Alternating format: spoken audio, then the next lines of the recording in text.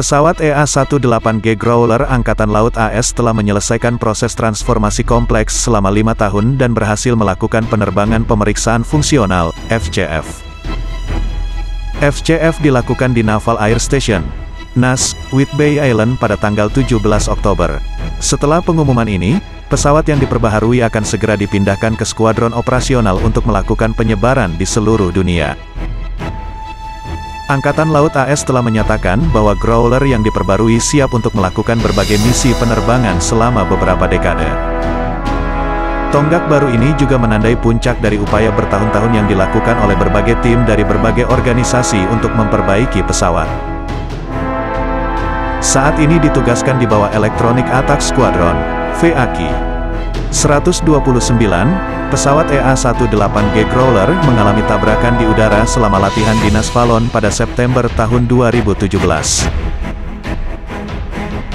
Menurut Angkatan Laut AS, pesawat Growler, yang kemudian dipasang pada VAKI 133, bertabrakan dengan pesawat lain yang ditugaskan di bawah karier Air Wing 2.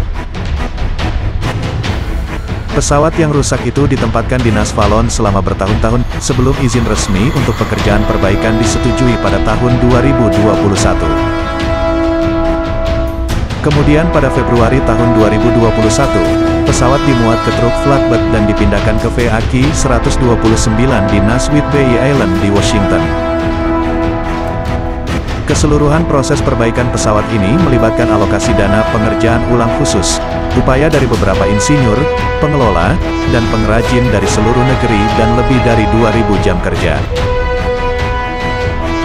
Pimpinan Depot FRC Northwest Tommy Moore mengatakan, ini adalah upaya tim oleh personel dari Fleet Readiness Center, FRC, Southeast, FRC Southwest Engineering dan tim saya dari FRC Northwest.